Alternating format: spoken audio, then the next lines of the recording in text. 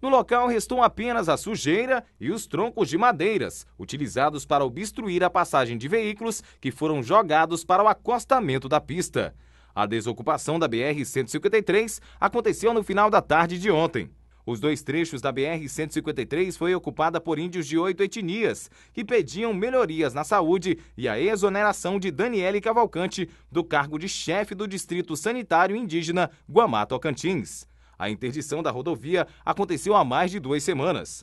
Com a interdição da BR-153, desde o dia 22 de maio, os municípios de São Geraldo do Araguaia e Pissarra já estavam enfrentando consequências do bloqueio, que poderia até afetar as aulas no município de São Geraldo. Um encontro ficou marcado para a próxima semana, em Brasília, ocasião em que o secretário especial de Saúde Indígena deverá receber uma comissão de índios para discutir uma pauta da saúde indígena.